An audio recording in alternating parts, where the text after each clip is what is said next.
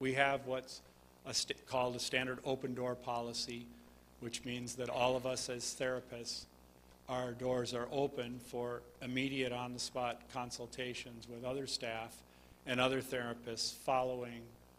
sessions so that people have an immediate opportunity to debrief.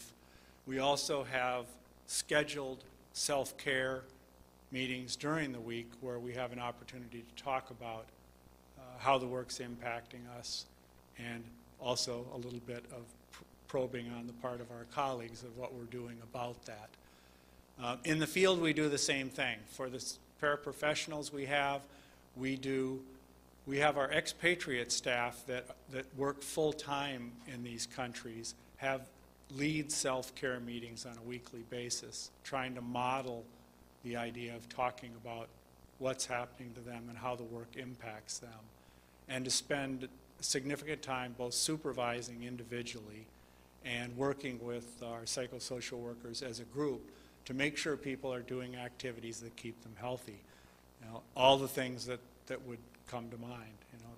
being engaged in physical activities, sports, music, and other things that keep us vibrant and healthy while we're trying to do this.